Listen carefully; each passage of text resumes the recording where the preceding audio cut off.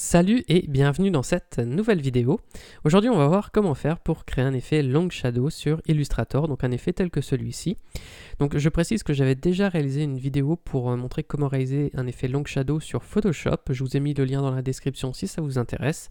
Mais ici on va donc s'intéresser à Illustrator et voir comment réaliser cet effet. Donc, euh, eh ben on va commencer sans plus tarder. Euh, je précise juste aussi donc, que là, on va l'appliquer sur un texte, mais ça pourrait très bien fonctionner sur un, sur un logo, sur un, sur peu importe euh, le, type d'objet que vous avez, donc un logo, pictogramme, ce, genre de choses, des illustrations. Et euh, donc là j'ai mis un fond rouge, mais on pourrait personnaliser évidemment la couleur de fond. Alors je vais supprimer tout ça, et c'est parti. Donc je vais prendre mon outil rectangle pour commencer. Je vais cliquer ici et créer un rectangle voilà, qui fait les dimensions de mon document.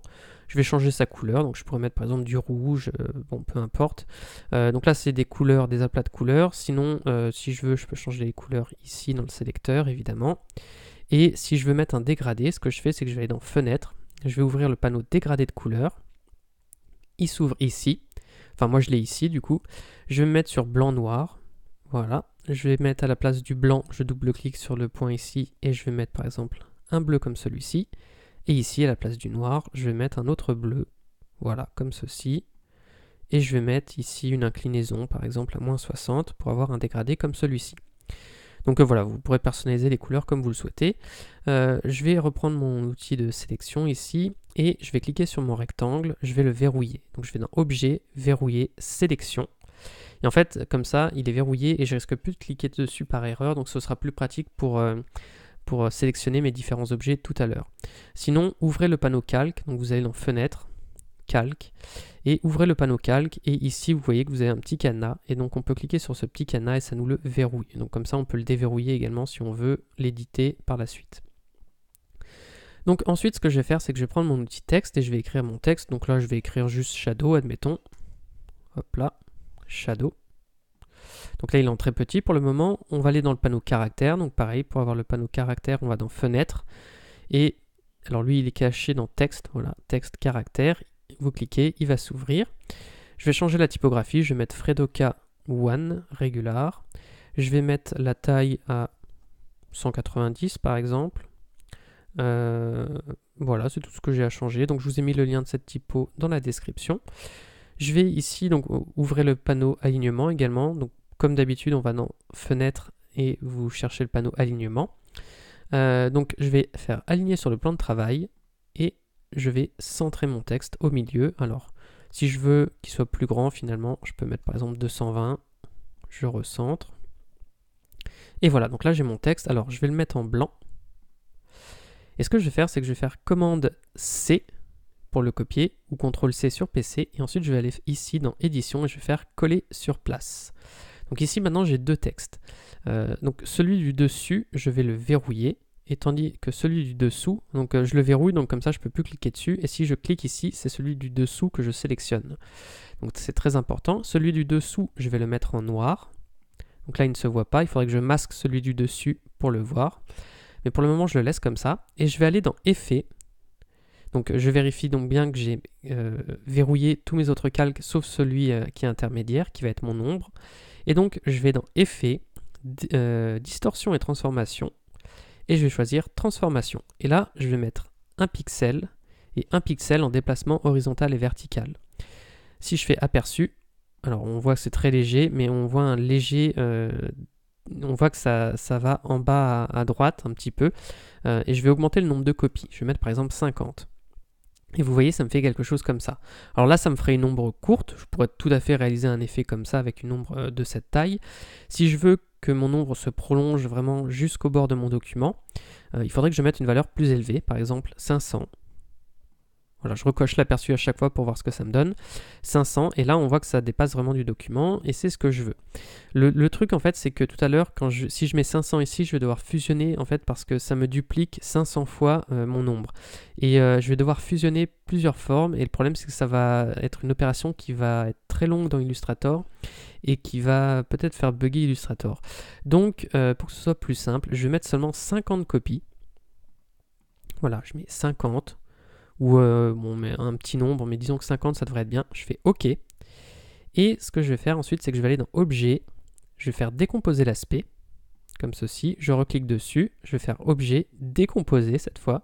Là, je choisis objet et fond, je fais OK. Et là maintenant, je vais choisir la case ici, réunion.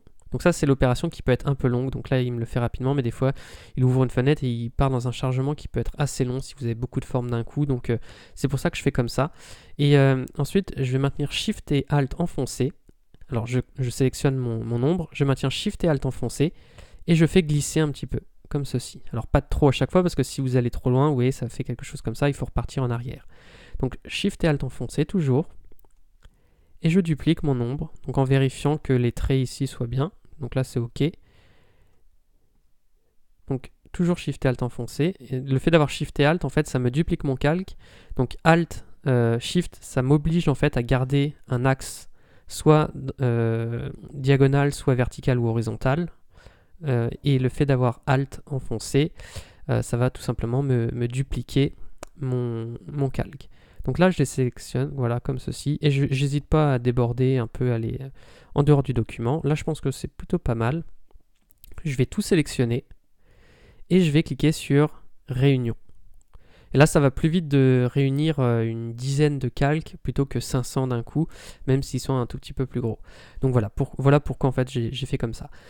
Donc ensuite, eh bien, notre ombre, bon là elle est beaucoup trop foncée, donc ce qu'on peut faire, euh, deux solutions, soit on fait un aplat de couleur, soit on fait un dégradé. Donc pour l'aplat de couleur, eh ben, je vais simplement dans opacité, je mets 10% ou 15%, vous mettez la valeur que vous voulez, et vous voyez, ça me fait une ombre comme ceci. Bon là ça dépasse du document parce que euh, dans Illustrator on voit jamais les, bords, euh, on voit jamais la bordure, mais ça n'apparaîtra pas évidemment quand vous aurez enregistré votre travail.